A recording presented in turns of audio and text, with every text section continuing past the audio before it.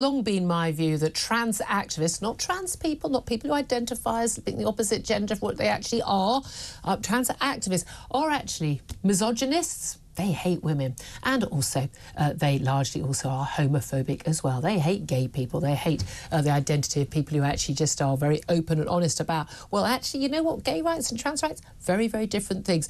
And it's never been more obvious than what happened on Friday when we saw uh, the LGB Alliance, the Lesbian, Gay and Bi Alliance, um, their annual conference was disrupted by activists who turned up and threw thousands of bugs into the auditorium, meaning they had to move to a, a, well, it stayed in the same venue, but had to move to a different room as crickets and cockroaches and other bugs uh, flew around. But also, again, as always, yet again, at so many of these Let Women Speak events organised by the fabulous Kelli-Jay Keen, this time uh, the home of the suffragette Emily Davison, turning up in their balaclavas and their masks with their loud hailers, shouting down women.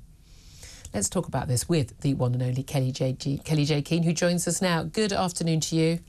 Good afternoon. Um, thank you so much, Doris. Let's talk about what happened at your event. I mean, you do this all the time. You do these events. You just turn up, bunch of women talking about, uh, you know, basically just women talking about the importance of women's sex-based rights uh, and safety. And virtually every time, whether it's Hyde Park or the home of Emily Davison, um, men largely, large male activists turn up and try and shout you down. What happened?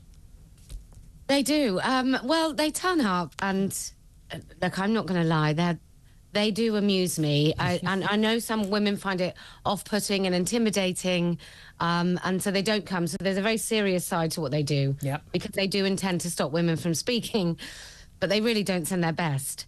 Um, They're they not the sharpest tools in the box, are they? No, they don't even have rhyming slogans or chants, which um, you know, I, I just find it very funny. It turns me into some sort of uh, stand-up comedian when when I'm faced with them. But the, the very serious point is that there are people that won't come. Um, they also try. I mean, somebody brought their children on that side to come and yeah. shout at middle-aged women, which I thought was yeah. so inappropriate. Um, and it's it's often men, and and they, they genuinely want to stop women from speaking.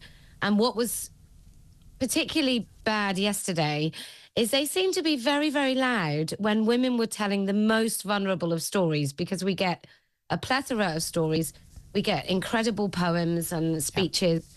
Yeah. And then sometimes we get very, very personal and painful stories. And, and they seem to think that that was the most appropriate time to say the most vile things. And that's the thing, isn't it? Again, it's simply women speaking. You're not you're not sort of trying to trample on trans peoples or the activists. You're just saying we just want to have our say. Let women speak is the organisation.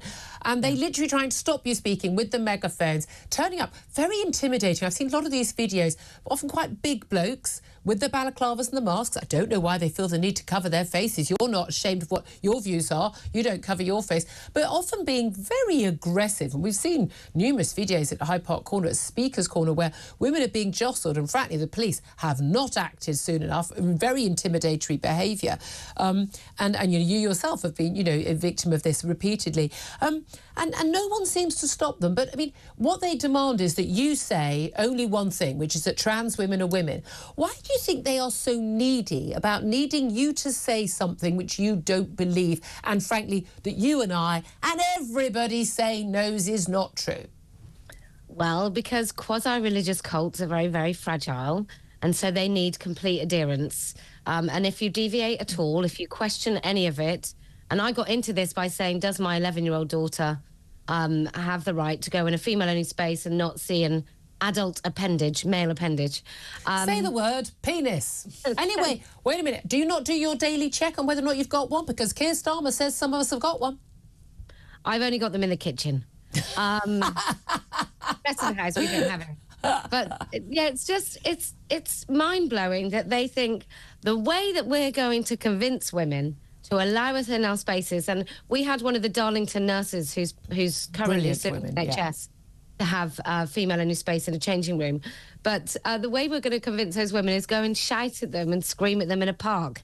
And then they'll yeah. say, oh, by goodness, yes, of course you should come in. Yeah. it's almost like there was a reason why we didn't want men in changing rooms and toilets and uh, refuges with us. I, I can't work it out. Um, but again, this all ties in. Again, they're also they're also homophobic. And again, we know you know trans activists insisting that you know t- that, lesbian women, you know by definition women, that they should have, be forced to have sex, you know, have relationships with men who who identify as if they're women because otherwise they're transphobic. But then we saw the LGB conference uh, on Friday, um, Alliance conference, disrupted with people throwing bugs. I mean, that's virtually sort of terrorism. I mean, that is a blatantly, openly homophobic act and yet everyone just kind of shrugs and doesn't think it's a big deal. If if if a, if, a, if a gay group or a women's group did that to a trans conference, all hell would break out. Well, this is what happens when you're actually just a group of heterosexual entitled men leading leading the sort of trans activists. They're yep predominantly heterosexual men, and they just want a little bit of that oppression they're, they're, just very angry men. I think they're more scared of us than uh, than, than angry at us. That's just just sort of pat, just give them a nice cup of tea. Poor things, poor dears, intimidated by little old you. Uh, Kelli-Jay Keen, you keep up the great work, my love. Founder of Let Women Speak. Uh, I'll let Claire speak now.